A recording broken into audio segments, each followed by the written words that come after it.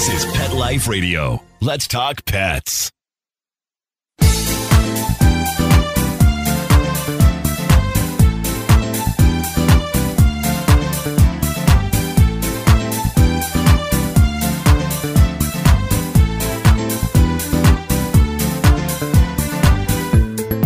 Hello, my cat loving friends. Rita and I are back, and we are so excited.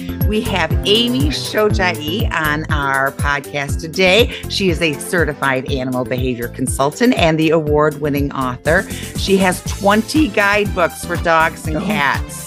So, Actually, I have a few more than that, but that's oh, more than 20. I misspoke. So we will get on this and get all of the details as soon as we come back from this word from our sponsor. Take a bite out of your competition. Advertise your business with an ad in Pet Life Radio podcasts and radio shows. There is no other pet related media that is as large and reaches more pet parents and pet lovers than Pet Life Radio. With over 7 million monthly listeners, Pet Life Radio podcasts are available on all major podcast platforms. And our live radio stream goes out to over 250 million subscribers on iHeartRadio, Audacy, TuneIn, Stitcher, and other streaming apps. For more information on how you can advertise on the number one pet podcast and radio network, visit PetLifeRadio.com slash advertise today. Let's Talk Pets on PetLifeRadio.com.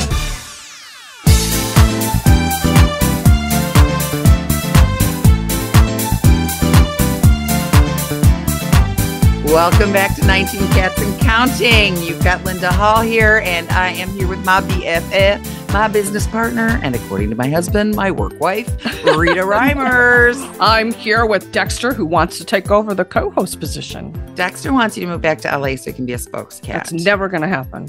I, I had my, you. my time you. in LA was great 10 years, but nope. I know. I know. Yes, exactly. Tell so let's get Amy in us. here and find out what's going on because she's she's a busy lady. She's got a lot. Believe yes. me. Believe me. Have you gone through the website, Amy Shojai? It's S H O J A I dot com. Blogs, everything. So let's get her in here, huh? Hey, ladies. Thanks Hi. for the invite. This is going to be so much fun. I, I love talking about cats and yes, books and publishing and cats and books and, and cats and, and cats and cats. And, and cats. cats. Exactly. Yeah, yeah, Cats and cats. We're the same way. We're the same way. Exactly. So you are a certified animal behavior consultant like we are. And, you know, I, I, see a lot of similarities. You're into anything. It's not just about fixing the behavior problems, it's about making cats' lives their best, right? Yes. Absolutely. Absolutely. That's what we're here for. You know, we are the handmaidens of the furry force, you know. Um, and that's that's kind of what we are meant to to do. You know, I used to when I first started writing and I had friends that were saying, well, why don't you write about X or Y or Z? I said, no, I was put on this planet. This is what I was meant to do to be a voice and a force for good, hopefully. For I can relate our, to that. Yes. Yeah. I got chills when she said that because, mm-hmm. yeah, that's how we feel, right? Like, Absolutely. this is our mission, this is our purpose. Plus, the fact we have opposable thumbs, which means we can open the cans, you know, more readily. Oh, yes. We are yes. a necessity to cat survival everywhere, right? I have said that in discussing how cats watch us and mimic us. I had caught one of my cats one day. I shut my door tight, which never happens because cats, but I needed to to change my clothes. And Super wanted out, and she had her paws on that doorknob just the right way. She had watched me enough times. She knew what she was doing. It's just the lack of thumbs. I think if they had thumbs, they could rule the world. Well, and at my house, we have lever door openings. You can see back. I have there. those. Yes. Yes. And I no longer have her. Uh, my Saren kitty lived. She made it almost to 22. Ooh, wow. Little, tiny, tiny, my little Siamese wannabe. She would jump up, hang on it, and unhook it. And we learned we couldn't have the uh, security system on when she was here because we couldn't keep her in any room. Yeah. You know? Now, Karma doesn't do that. But we also had a dog, our Bravo dog, who was a Mastiff. And he was big enough, he could just put his paw up. Yeah, just smack it and we're ready to go. We had to change the doorknob to the garage because there were a couple times we came home from being out. He had opened it. And when we opened the garage door, he was ready to go. Yeah. I had a I had a cat sit client like that. She had a big note. She doubled, she did the deadbolt and she's like, do not open this door. Yeah. do not unlock this door because the cat will get No out matter what the cat tells you. Child proof, cat proof. Linda has a yes. dog, but her dog's not that intelligent. Sorry, no, Linda. Sorry, I Sadie. have I have a little chihuahua who has lived her whole life with cats. There are 12 cats in this house and a chihuahua. so she has a serious identity crisis. Does she try to meow? no, but she did stand in the litter box one day. It was the funniest thing. I immediately sent a picture to Rita. She didn't do anything in there, but she sat in there like, this is what I've seen others do. I should do hoping. this, right? I was. I tried to bribe her. I live in Ohio. I don't like taking the dog out in the winter. I'm like, please do your business. I'll pay you. I'll buy extra treats. I'll give you. Didn't work. Well, they have they have dog litter boxes, but it's it's the pellets, you know, and oh yeah, that's not something that I would want to do. Yeah, yeah. Clients that wanted to do that, and there's there are a few products available out there, but you know, dogs don't have the greatest aim either. So exactly, yeah, yeah. Uh-huh. That's the only true. way I would do that, I think, is if I were physically unable to take the dog yeah. out to keep the dog. Otherwise, it's just not. Yeah, let's do what comes naturally. And yeah. I still have a few people in the house to help me out. So my son's in his senior year of high school. I have one more year. and then yes. you'll be like me. Everything falls on you. Yes, and then I'll cry. Yes, exactly. Well, let's let's talk about Amy. What what is it that you that you love about cats, and why you like working with them? Oh gosh, what's not to love about cats? Oh my goodness. I think because they are such unique individuals. And you know, in the past, they always said, oh, you know, all cats are aloof, independent creatures. I'm sorry, bull hockey. That's just it's Agreed. every cat is different. Every cat, I think they appeal to different parts of us. I love dogs too, but cats appeal more, I think, to the poet in us. It's enough for them to be beautiful. It's enough for they don't have to necessarily have a job. They are enough. We could learn from that. We don't have to be striving all the time. You know, take take a prayer break and have fun. And they are they are my inspiration. I think you know while the dog is kind of the comedian of the house karma yeah and uh, they get each other in trouble but karma my karma cat is kind of the inspiration that calms me down. He'll sit on my lap or he'll decide that it's it's time to play or for uh treat. You know i can't say it. Yeah treat is that the one that's sleeping next to you? The That's yeah because he looked up when you said his name. Oh yeah. So so yeah, I think cats and dogs, well, they want different things out of life too. You know, dogs want to be part of a family. They want to belong to a person and to a family group. And cats are more they more identify with the house and the territory and their human is part of that territory yeah so they want kind of the same things but i love the fact that they kind of complement each other too you know so well they're very yin and yang you yeah. know yes. they're so different rita and i were both raised with dogs and so cats were like then my parents have five dogs, so I, I, get my dog oh, wow. over there my cats would throw me. I have 16 cats. They'd throw me out if I brought home a dog. But I love dog cat friendships, especially those little teeny cats and those big old dogs. They're so cute. Well, yeah, and and the reverse is true too. I mean, my my German Shepherd rescued Karma. He's the one that uh, found the cat. I mean, we we had uh, Kitty, who was a little teeny tiny thing, and we had the German Shepherd who loved cats, and Saren hated him. They couldn't get close enough. He couldn't get a good cat sniff in 12 years. And then this, this little kitten, a dumped kitten, appeared out on the back patio, digging through the glass, trying to get in with the German Shepherd on the other side. And I thought, wow. And the dog let Brave me cat. know about that.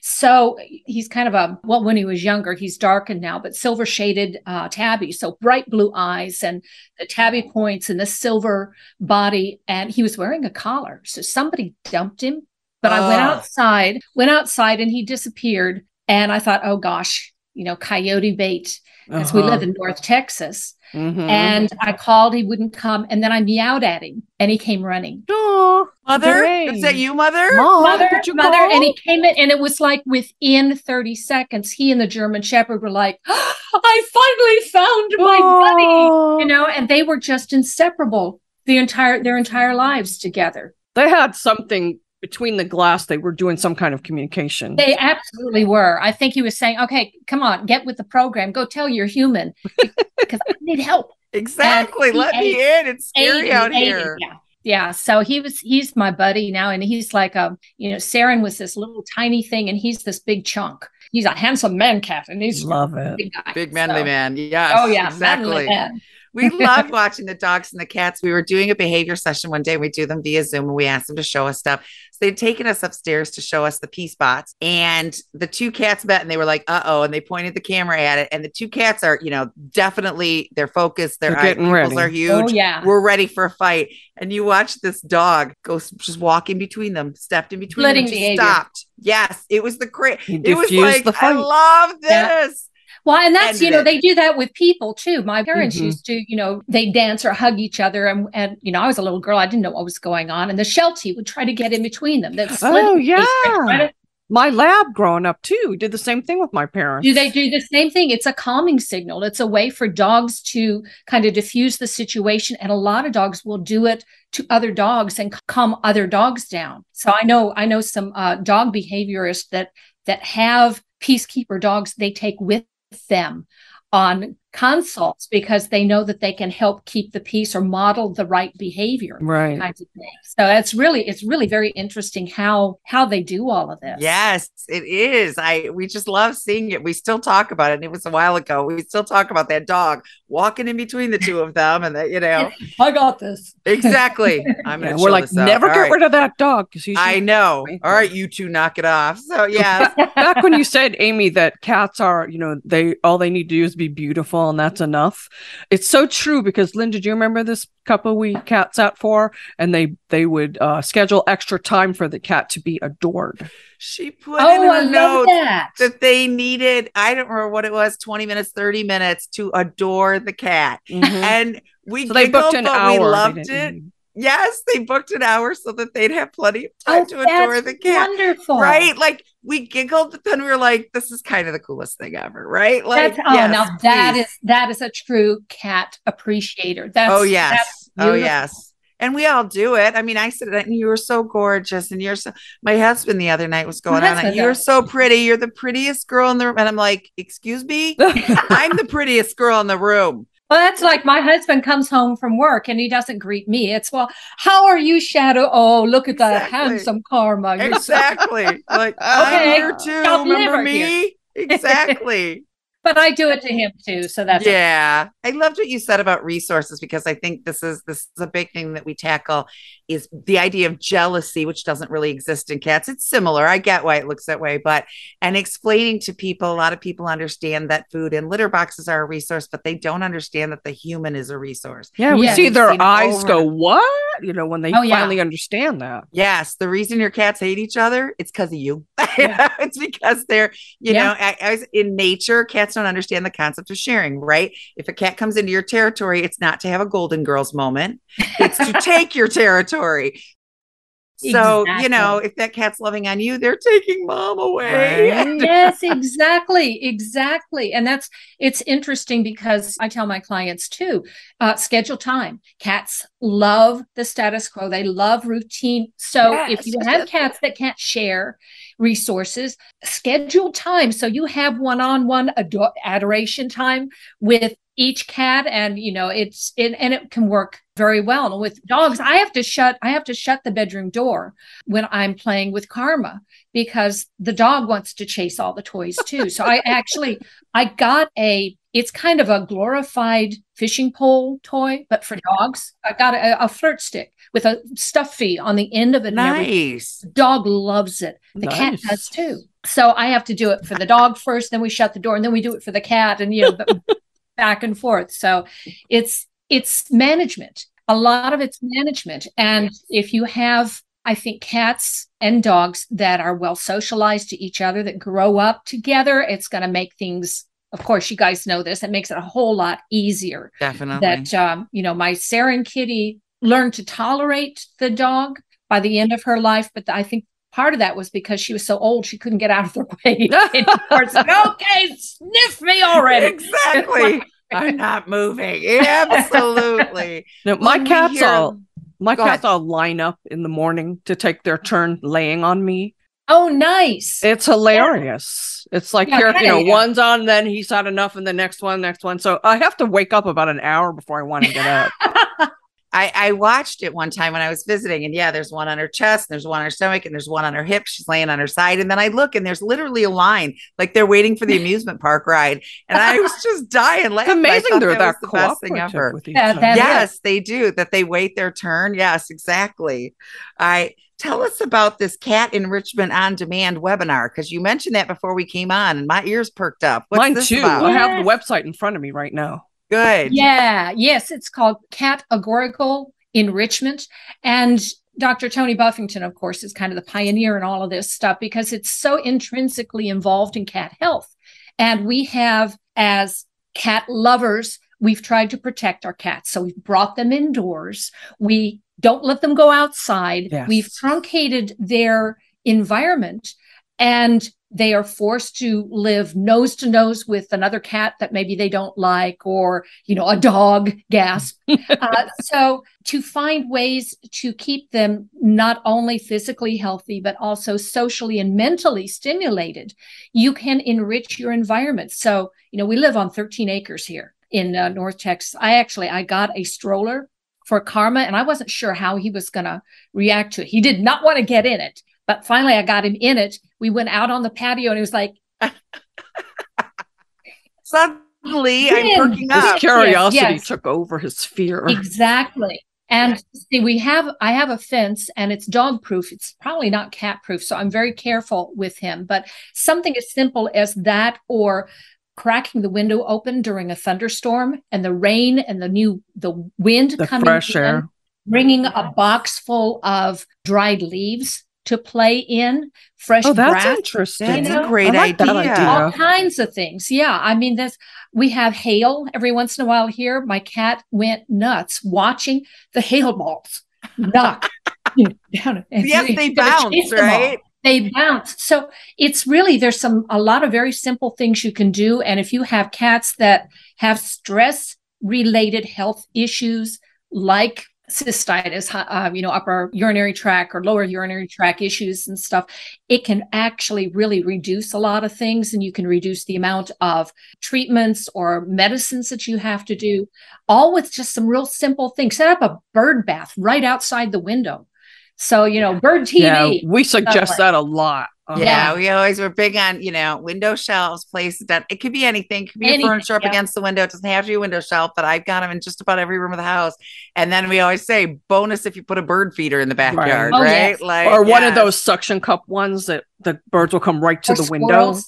Squirrels, squirrels yeah. apartment, you're high up. if I say, um, and it's where are they? Because I don't want them come running. If I say bunny, bunny, bunny, bunny, bunny. Oh, That's oh, yeah. the signal that there's a bunny out there or a squirrel or something interesting. And they will, both pets will run to the back patio windows to see what's going on out there. And of course, the cat chattering and the dog woofing and, and all that. So it's it's a lot of fun and you can find a lot of fun, inexpensive things you can do. You know, if people can't afford a fancy dancy cat tree, get a ladder, put a cat bed on the paint rack, tie toys on the rungs, you know, spike it with catnip, and you've got, you know, several levels Very of nice. I like there. that idea. Very inexpensive because you most people already have a ladder somewhere. We have to take a break. Right. We'll be back right. just a moment after this word from our awesome sponsors. For those fortunate to have experienced the deep bond and unconditional love of a companion animal, the death that follows can be one of the most difficult and misunderstood losses to go through. Many times, this devastating loss goes unrecognized and trivialized by family and friends, leaving grieving pet parents struggling to find healthy ways to cope with the loss. In And I Love You Still, a thoughtful guide and remembrance journal for healing the loss of a pet, Dr. Julianne Corbin calls attention to the difficulties unique to the loss of a beloved pet and provides an interactive and compassionate guide to help you process your loss and work towards coming to a place of peace and healing. For those interested in journal therapy and looking for a professionally written and compassionate resource to help understand and reconcile the grief associated with the loss of your pet, this book is for you. And I Love You Still, a thoughtful guide and remembrance journal by Julianne Corbin, is now available for purchase on Amazon and other major book retailers. Let's talk pets. Let's talk pets on Pet Life Radio. Pet Life Radio. PetLifeRadio.com.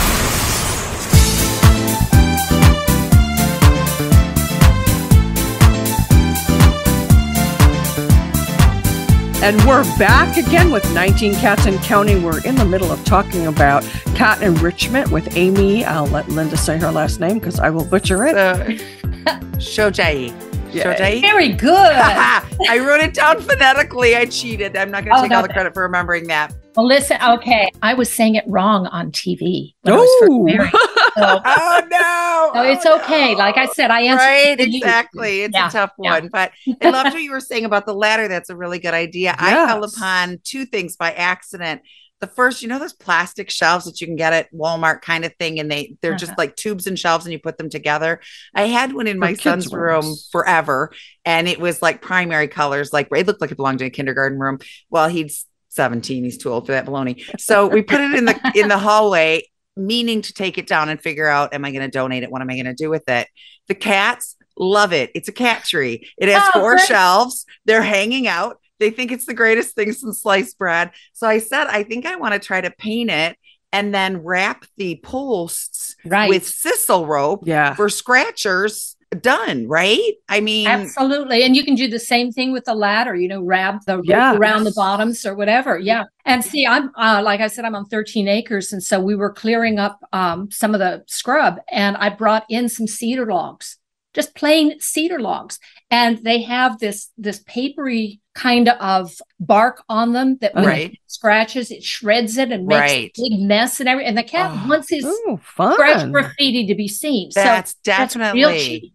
Definitely yeah i have one of those in almost every room and then you just you know vacuum it up yeah, exactly i I had a cabinet in my bedroom and we switched bedrooms to a smaller bedroom. And so I put it out in the hallway and it's near a window and ah. it's tall. It comes up at my chest level. And so I decided it was the cat and dog cabinet, the food, the litter, the treats, the supplements, it all goes boy. in there. And then I just stuck a soft blanket on it and put two little cubbies on it. And they're so happy. They can sit there and see out the window. They can hide in their cubbies. It's getting used, believe me. Yeah. You know what I love about those is it's so much easier to keep those clean and sanitary than some of those cat trees that have, you know, the carpet all over them. Truth. Once once they get it, you can't take the carpet off to clean it and it's hard to clean yeah. it in its place. So yeah, I really love these ideas.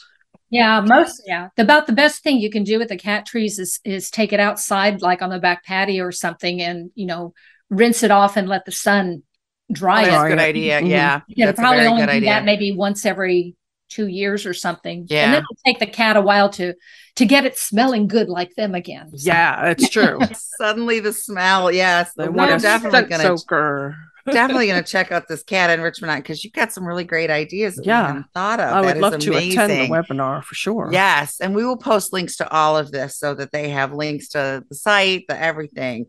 Your blogs, you've got just about every time. I didn't get through them all. You've got just about every topic imaginable. Awesome. They are wonderful. How many do you have going now? I don't Oh, the blog? Yeah. Uh, well, I have just the one blog, but the topics I cover, you know, care and behavior issues for both dogs and cats. So it kind of duplicates a lot of the, the book content. I've got everything from kitten and puppy information to adult pet care to behavior and training care to Love senior it. citizen cats and dogs. And then um, I have a few, uh, I'm starting to do quick tips books on specific topics. Like I have one that's called My Cat Hates My Vet. Ah, that's a good one. And how you can deal with that. And it has a lot of the fear free techniques and the things that, you know, the cat specific practices advocate and then there's there's one uh, or my cat or my dog hates my date what do you do about that? You listen to the cat is what you do. But, yeah, right. It's yeah, no kidding. So for intro, you know, introductions and those types of things. And then I do a little bit on the fiction side there at the blog because I write a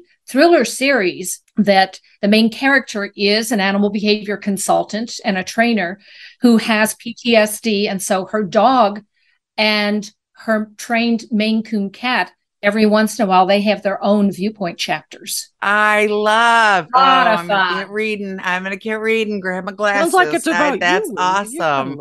Yeah, and right? in fact, if you want the first one, it's free for those who subscribe to my newsletter. So I oh, give you oh, the, the first book is um, Lost and Found. So awesome. that's for listeners. They can they can check that out, and if they like it, then there's there are five others in the series. I'm working on number seven right now. Nice. So, You're a busy I lady. You really are. You are. Busy. How do you find time for everything? It's oh, and gosh. in my spare time, I'm easily bored. One of those people that has. I understand that. Mm-hmm. Yes, yes. Have to be busy. Yep. What do you think is the biggest misconception about cats specifically that you are constantly battling? Uh, that they can't be trained. Cats probably are easier to train than dogs, but you have to let them think it's their idea. And it's not so much training them as understanding what cats need and want out of life and providing that for them. So it's yes. not saying, how can I make my cat stop scratching the furniture? Well, do they have a legal outlet? Mm-hmm. Let's give them something that they do want. Listen, the cat will tell you what he or she wants. So you just listen to the cat. So I think the biggest the biggest challenge there is as you were saying earlier is to say you know put yourself in your cat's paws you are your cat's most important territory and how can you coexist with this creature that's very different than you and fulfill what they need while not disrupting your life too much either they should complement each other it, I love that. Yes. We like to I, say there's no naughty cats. It's just, oh, I like you know, that. You can't yeah. stop a cat from doing a natural behavior, but you have to give them appropriate and appealing places to do that yes. behavior. Yes, yes, exactly. and then make them choose not to mm-hmm. do the mm-hmm. things you don't want right. them to exactly. do because that's you know often we say you know do you have scratching posts and okay it's the back of the so they want something vertical or all your scratching posts horizontal mm-hmm. and then sometimes they come back and say yes I have five and we'll say okay congratulations your cat thinks you have six so we just have to make them not want to do the couch right. That's great. Yeah. And where are the scratching posts? Oh, well, it's back in the laundry room. Well, Kilroy wants to know that all of his scratches is seen. You know, you don't hide it away. You my want, you know, where is my artwork? Yeah, where you is he scratching? your grandson's artwork on the fridge. You got it. well, it's true. A lot of people will put things for their cat away in a room, you know, way in the back of the I'll house. Hide it away. They're not going to use it back there. They want to be with no, you. No, no. Well, and my my old lady cat, Saren, she scratched the underneath. She would lie on her back and oh my gosh. underneath. That's a new one. Furniture. cute. So yeah, it was real interesting. But see, I also I trim my animals' claws, you know, routinely. I start the kittens when they're, That's you know, important. as soon as they arrive. The dogs now, I did not my bull mastiff because he was so large. We didn't have him long enough. He he succumbed to osteosarcoma. So oh, I'm sorry. Uh, it was it was a was a hard time. That was during COVID, so we were going down to um, have his his chemotherapy where, and I couldn't go in with him oh. uh, during all of that period of time. And uh, Karma awful. slept. Karma slept with his collar for a week after he passed. Oh, because he missed God. him. So I mean, How these awful. these animals they bond so closely to each other. So and to their people, yeah, and I, to their um, people, yeah we lost my son-in-law to COVID in 2020, and my oh, daughter oh, had to move back home. Yeah, with her oh. four cats, and we had seven. That was a fun integration. We learned a lot, lot, lot. We learned a lot, but Inky, especially, they all mourned him, but Inky especially roamed the halls. It was just two years Saturday, so yeah. I, am oh, just a little, I'm just oh, a little sorry. something, something. But no, it's all right. But um, Inky would roam the halls at night, letting out this horrible, yeah meow yowl guttural rip your heart out it. make you want to die sound it yeah. was so heartbreaking bad. it was so bad and uh, nick my daughter wore one of sebastian's t-shirts one day and took oh, it off and set it on the floor and all four of her cats congregated and laid on it. And, and it had been washed. Other. They still smelled them. Yeah, but it oh. hadn't been washed with any kind of enzyme cleaner. So Sebastian was still in there. Yeah. So yeah, they all four gathered. Wow. And you know, one of her cats, Tiger, he's our grouchy old man. He doesn't cuddle with anybody but his mama. So that was true grief we were seeing. It was oh, just yeah.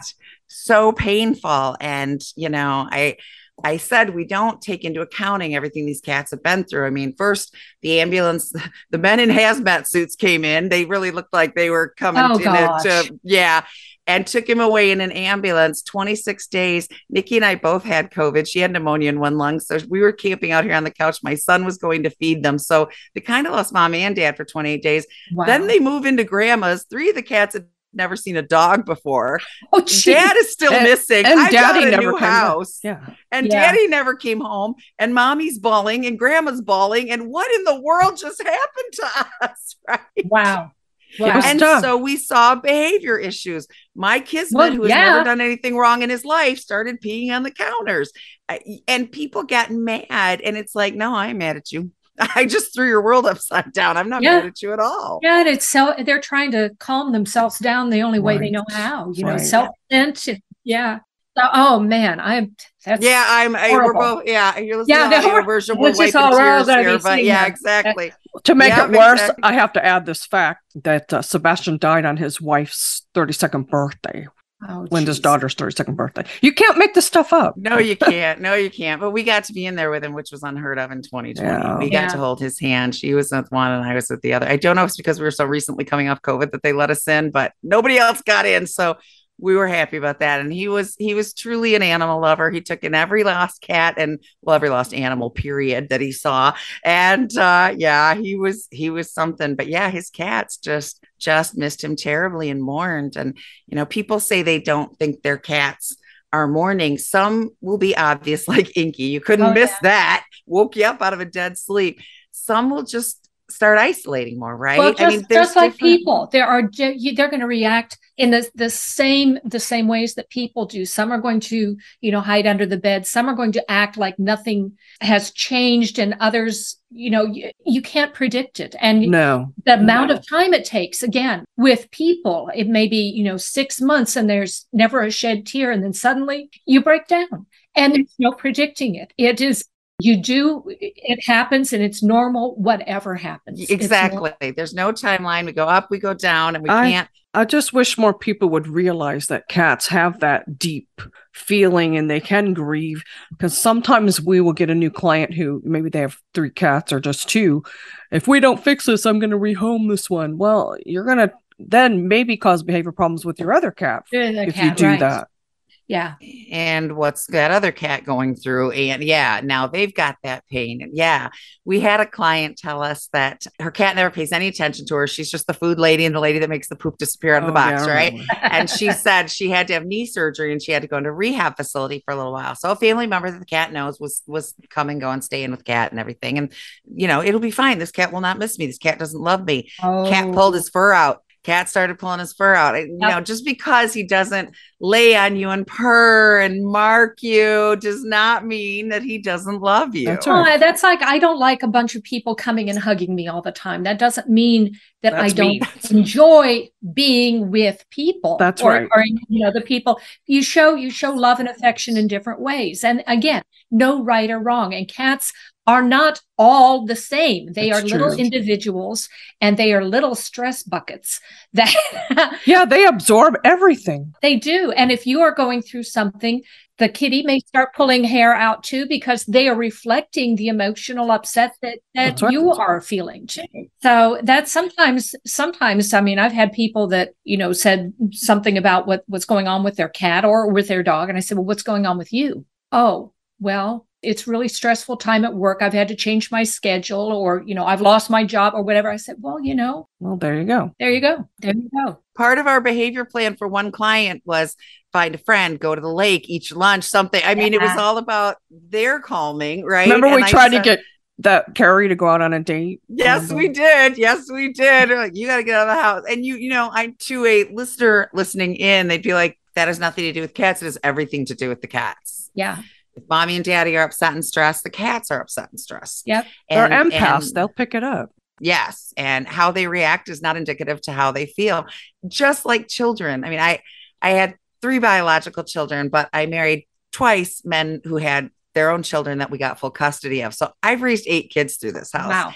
And I can tell you if I was crying and hurt, who would come to me and be the comforters? Who would go color or do something, you know, when they were a kid to just la la la la, I can't handle this. Yes, mm-hmm. la la la. Who goes to hide? Who goes to dad and says, Mom's upset, fix it? You know, it's the right. varying, and I see it in the cats. Sure, it's, absolutely. You know. And there's a reason why we are called pet parents now. Yes. And it used to be kind of a, oh, that cat lady, lady derogatory. Now it's not. I mean, this is kind of a universal thing. We are a surrogate parent 100%. For our animal companions. And if we take on that responsibility, we need to look a little bit deeper. I'm doing something that is out of my comfort zone and is it's an interesting have y'all seen some of the videos of the the dogs and the cats that use the talking buttons to communicate? Yes, yes. We I got that. a set of those, and I'm starting to work with those. Linda does too. I have a set. I, it's got dust on it. It's been sitting here for about a year, and I haven't done anything with it yet. But I this is a goal. Yes.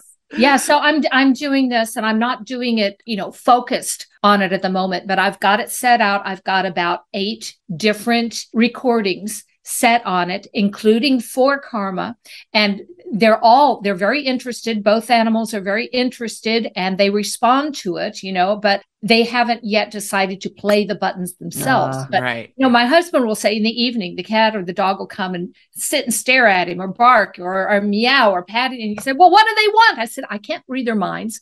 Go through the list and try to you know figure it out but i said that's why we got those buttons so mm-hmm. maybe they can tell us and i thought i just watched a tiktok the other day one of the one of the cats that has been using the buttons for quite a while. And the cat had come in and used two buttons and said water all done. The water was oh my gone. gosh. They thought water was all gone. No water bowl was full. Did this for two days trying to figure out and finally she figured it out. It had stopped raining. Oh the water's all gone. Water all gone. And the reason she got that was because there was another cat that had referred to the rain before. They fo- kind of follow each other. And so she said, you know, cats and dogs think, and she said, my cat thought I was absolutely stupid. I didn't get, understand what you were talking about. You know, what is wrong with you? Yeah. Listen to me, yeah, Mom. Is that fun? What's that one you listen talk, to? One of the dogs that actually will report on her nightmares We'll talk about the dreams and the nightmares. Oh my gosh. And they have this in this incredibly rich lives that we're now starting to tap into or to recognize and try to figure out ways that we can communicate mm-hmm. back and forth. So it's not a one way, I'm going to teach you what this word means and you will sit when I tell you to and yes! you, you scratch the right thing. Well, let's let's have a conversation. You're part of our family, so let's treat each other like family members. You know, I've likened cats for years to nonverbal autistic children. Oh, autism oh, yes. is one of my passions. I, I love me some autism. You'll never meet more honest folks. But, and you know, when they get that soundboard and they can communicate, I liken that to that. Yes. Exactly. And that's where these, that's where this came from. And they had actually started using these with service dogs so that they could communicate and contact for help, you know, call for help. Nice.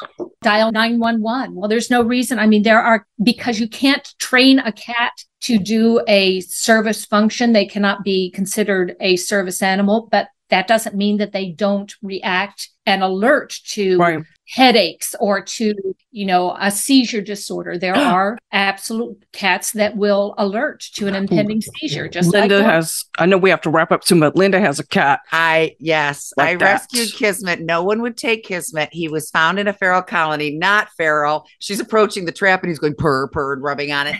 And uh, but he was beat to snot fiv positive mites needed teeth removed. It was bad. Rita's house was full, so she started sending me pictures. So I finally agreed to take the cat. His name is Kismet because I said, Well, I'm not coming to the Carolinas, so you're going to have to get him to me, but I'll take him.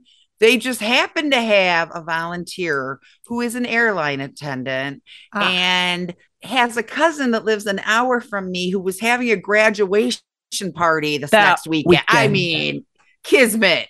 Yeah. So I get the cat. My daughter has um, a seizure disorder that no one can figure out. She's been through cardiologists oh, and neurologists, wow. tried all kinds of meds, done all the tests. Kismet can stop her seizures. Oh, Kismet awesome. came running in one day. She told me it's starting, and there it always follows a predictable path. It's always the same thing. She said, I'm getting hot. I said, sit down, let me watch you. Kismet jumped on, started purring louder than I had ever heard him purr, and it was just different. And he started like putting his paws on her in different places.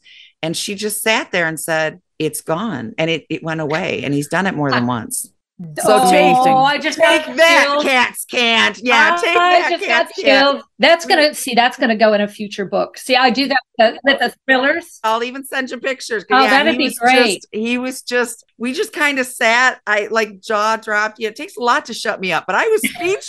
I didn't say a word. Oh, do like, send send me that information. And, and I will. the thrillers, I try to put. One of them had diabetes alert dogs. The the first book, the the dog is trained to be an autistic child's. Oh service dog that doesn't you know it doesn't work out so it ends up being but so each one has some kind of a pet centric theme yes i love it. Yeah. Oh, and he was oh, he was the best cat i didn't want. Uh, he yes, was spent afterwards, afterwards he went to sleep. He's always exhausted after he helps her. But i'm telling you for a cat no one wanted including me I freaking love this cat. He's just Nikki everything. wants to I take would... him when she moves out, and Linda's like, over my dead body. I keep saying no, and everybody's like, You can never move out. You yes, can never move that's out. what I told. She's like, he stops my seizures. I said, and you have access to him in my home. You can just stay. I, I, hate tried. to wrap this up, ladies. We I could know, probably we could go on and on, but Amy, you have to come back. Yes. Oh, I'd love yes. to. You have to come back. There's so much more we could talk about with you. Uh, we yes. could probably do 10 shows right now. Easily. Um, any last words of wisdom you want to give to our audience? Oh, to to the audience, just appreciate the kitty cats, love on them, and appreciate their quirks and even their idiosyncrasies or their challenges you know, just like little Kismet that had challenges. They are a gift oh, to us. Yes. That's oh, it. yes.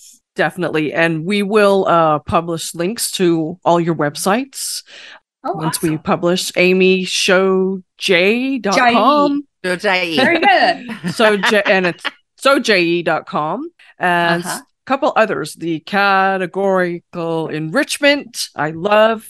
Everybody needs to attend that. We need to attend that because you can never be out of ideas on how to make your home more livable for your cats.